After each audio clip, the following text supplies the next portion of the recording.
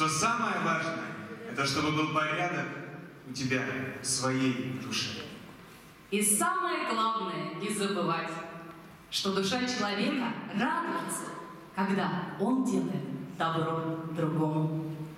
Если каждый задумается о чистоте своей души, то и окружающий мир станет чище и лучше.